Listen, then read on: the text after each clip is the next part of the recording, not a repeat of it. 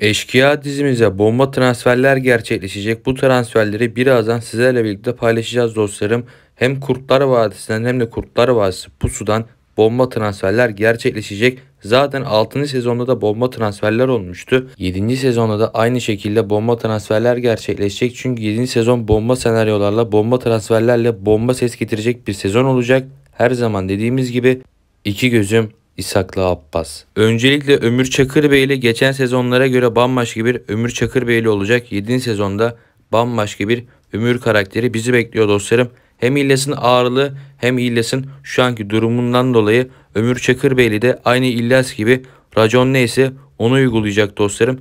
Yani bambaşka yani artık Ömür de artık bir nevze reis gibi bir şey olmuş olacak. Yani Ömür'ün bile namı her yere duyulmuş olacak. Aynı İlyas gibi. İlyas karakterine geçecek olursak da İlyas da 7. sezonda aynı Memati karakterinin Karaca Dağlar operasyonunda yaptığı racon gibi İlyas da artık herkese onu uygulayacak.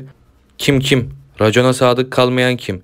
Eğer ki İlyas'a biade etmeyen, İlyas'ın reisine sadık kalmayan, racona uymayan birisi olursa İlyas da gereğini yapacak dostlarım. Tabii ki de İlyas'ın yanında Alparslan Çakırbeyli de olacak. Alparslan da artık kendisini gömdü bildiğiniz gibi ama yine de Alparslan sağda kalacak dostlarım. Geri planda kalmayacak. Alparslan Çakırbeyli fedailerle birlikte efsane operasyonlar yapacak dostlarım. Tabii ki de yanında birkaç tane Faruk gibi fedaisi olacak.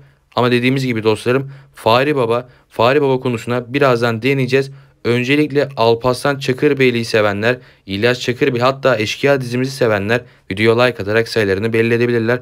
Öncelikle Fahri Baba ve Alparslan konusuna değinelim. Herkesin bildiği gibi fidanlığın gerçek sahibi Kenan Çoban yani Fahri Baba. Kenan Çoban diziden ayrıldıktan sonra bir sürü haber yapıldı. Kenan Çoban yok sette kavga etti, işte yapım ekibiyle kavga etti, yönetmenle kavga etti, oyuncularla kavga etti diye bir sürü dümen kolpa yaptılar. Aslında bilmiyorlar ki fidanlığın gerçek sahibi Kenan Çoban. Kenan Çoban kavga etseydi işte küsseydi hala fidanlı yapım ekibine kiralar mıydı? Kiralamazdı. Ondan dolayı dostlarım şimdi Kenan Çoban'ın yani Fahri Baba'nın nasıl ölmediğini sizlerle birlikte paylaşalım. Öncelikle Fahri Baba yani Kenan Çoban bildiğiniz gibi Kurtlar Vadisi'nde Kurtlar Vadisi pusuda oynamış başarılı bir oyuncu dostlarım. Fahri Baba gibi karakter yani Kenan Çoban gibi bir karakter hastanede öldü haberiyle ölecek diziye veda edecek bir isim değil.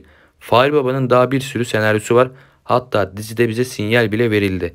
Şimdi Kenan Çoban diziden ayrıldıktan sonra yani Hurşit'le beraber Kenan Çoban işte vuruluyorlar orada. Ondan sonra dizi bittikten sonra haberler yapılıyor. Diziye Hurşit veda etti diye. Yani Hurşit karakterini canlandıran kimse o karakteri canlandıran adamın veda ettiğini söylüyorlar. Ama aslında Kenan Çoban da orada Fahri Baba da vuruldu. Ama Fahri Baba'nın vurulduktan sonra öldü haberlerini çıkartmıyorlar. O bölümden sonra bakıyorsunuz haber sitelerine diziye Hurşit karakteri veda etti deniliyor. Ama hastaneden haber geldi Fahri Baba öldü diye. Neden Fahri Baba diziden ayrılmadı? Çünkü Fahri Baba diziden ayrılmadı ki Fahri Baba ayrıldı diye haber yapsınlar.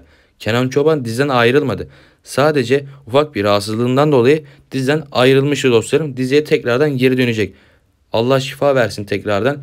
Kenan Çoban iyileşti dostlarım. Tekrardan diziye geri dönecek. Yani Kenan Çoban'ın yani Fahri Baba'nın daha senaryosu bitmedi. Aynı Alparslan'la nasıl karşılaşacaklar?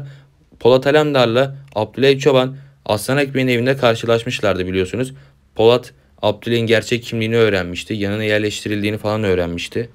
İşte aynı şekilde de Alparslan adı Fahri Baba bir evde veya bir mekanda buluşacaklar. Yani Alparslan birini ararken Fahri Baba da birini ararken bir araya gelecekler. İşte Alparslan diyecek sen nasıl ölmedin işte o muhabbetler falan işte Fahri Baba'nın fedailerden olduğunu falan söyleyecektir. Fahri Baba kendisinin fedailerden olduğunu ve senin yanına yerleştirildiğini falan söyleyecektir. Fahri Baba yani Kenan Çoban gibi bir oyuncu bakın dostlar Figüran oyuncuların bile ölüm sahneleri oldu, veda sahneleri oldu. İşte yan karakterlerin vedası oldu, figüranların vedası oldu. Onların vedasında bile hüzünlü geçti. Yani o bölüm mesela birisi Ahmet öldüyse o bölüm Ahmet öldüğünün etkisi hala devam ediyordu bölüm sonuna kadar. Yani o bölüm Ahmet mi öldü? Tüm karakterlere işlenmiş, herkes hüzünlü. O bölüm Ahmet ölmüş gibi devam ediyordu. Fakat Kenan Çoban gibi bir oyuncu, Kenan Çoban gibi usta bir oyuncu Fahri Baba karakterini canlandırıyor ve sadece bir hastaneden öldü haberi geliyor bu kadar. Başka Fahri Baba hakkında hiçbir şey yok. Ne cenaze sahnesinde başka hiçbir şey yok dostlarım. Yani öyle hiçbir şey yok ki Başka yan karakterlere bakıyorsun. Figüran oyuncuların vedasına bakıyorsun. Hepsinin bir kesinleşmiş bir ölüm sahnesi var. İşte veda sahnesi var. Atıyorum mezarlık sahnesi var. Hüzünlü sahneleri var. Baya onunla alakalı bir sürü sahneler var. Ama Fahri Baba'da yok. Fahri Baba'nın vedası benim gibi bazı arkadaşlar da benim gibi düşündüler. Tuhaf geldi çünkü vedası. Yani böyle bir veda Fahri Baba karakterine yakışmamıştı. Zaten dostlarım bildiğiniz gibi Fahri Baba yani Kenan Çoban saçları ve sakalları uzatıyor. Yüksek ihtimalle Eşkıya dizisi için de olabilir dostlarım. Hatta 6. sezonda Fahri Baba için bir sinyal verilmişti dostlarım. Bildiğiniz gibi Fidanlık'ta Yaman'la Behzat kavga ediyorlardı. İlhanların adamları fidanlığı basarken oradan işte alttan bir tane adam geliyordu. Bunun fotoğrafını ben Instagram'da da paylaşmıştım. YouTube'daki eski videolarda da paylaşmıştım. Orada Fahri Baba'nın kulübesinin ışığı yanıyor. Fahri Baba'nın kulübesinde kimse yok. Sadece Fahri Baba'nın kulübesinin ışığı yanıyor. Yani orada kamera açısından yani kamera çekim açısından bilerek bize sanki demişler ki bakın Fahri Baba'nın kulübesinin ışığı yanıyor. Ayık olun her yerden çıkabilir Fahri Baba gibi. Peki Fahri Baba ne zaman gelecek? 7. sezonda mı gelecek? Tamam 7. sezona gelecekse hangi bölüm gelecek? Şu anda dostlarım bunu bilmemiz imkansız. Çünkü daha 7. sezon başlamadı. Ve ayrıca Fahri Baba'nın şu anda gelecek bölüm veya hangi sezona geleceğini biz de bilemeyiz. Ama Fahri Baba diziye geri dönecek karakterlerden bir tanesi. Aynı Kimsesiz Yaşar gibi Fahri Baba da diziye tekrardan geri dönecek isimlerden bir tanesi dostlarım. Fahri Baba'nın gelme ihtimali Yaşar'dan daha yüksek. Yani Fahri Baba ile Yaşar'ın gelme ihtimali kıyaslarsak Fahri Baba'nın diziye geri dönme ihtimali daha yüksek dostlarım. Zaten biz Kimsesiz Yaşar için 7. sezon için analiz yapmıştık dostlarım. Geldik 7. sezona Fahri Baba için. Fahri Baba 7. sezonda da gelebilir. Eğer dizi uzar 8. sezon olursa 8. sezonda da gelebilir. Eğer ki 7. sezon final olacaksa 7. sezonda zaten garanti gelir. Dediğimiz gibi dostlarım final sezonunda geçmişte olan tüm karakterler diziye tekrardan geri dönecek. Ölmemiş diziye ama ölmeden veda etmiş oyuncuların hepsi diziye tekrardan geri dönecekler. Final sezonunda gelecekler. En son noktayı koyacak ve final zamanı gelecek. Kim? Ahmet Dahlan dostlar. En büyük düşman Ahmet Dahlan. O da son noktayı koyacak. Final sezonunda diziye dahil olacak. Peki Ahmet Dahlan karakterini kim canlandıracak? Kurtlar Vadisi pusudan tanıdığımız Ersoy Ulubey dostlarım. Ersoy Ulubey gerçekten çok canı bir karakterdi. Kurtlar Vadisi pusuda öyleydi. Aynı şekilde Dahlan karakteri de öyle. Dağlan karakterini canlandırabilecek isimlerin en başında Ümit Acar geliyor dostlarım. Sizce Ümit Acar Dahlan karakterini canlandırırsa nasıl olur? Yorumlar kısmında yazmayı unutmayın. Mutlaka ve mutlaka Eşkıya ekibinden usta oyuncu Musa Uzunar hamlesi gelecektir. Ama kimsenin beklemediği bir karakteri ve kimsenin beklemediği bir anda Musa Uzunlar diziye dahil olursa şaşırmayın dostlarım. Bahar karakteri 7. sezon için diziye veda etti dostlarım. Bundan dolayı Tosu dayı da tek başına diziye geri dönecek. Hızır'ın yanına dost olarak dahil olacak. Hem Façalı ailesi güçlenmiş olacak hem de Ankara'dan bir dost daha gelmiş olacak dostlarım.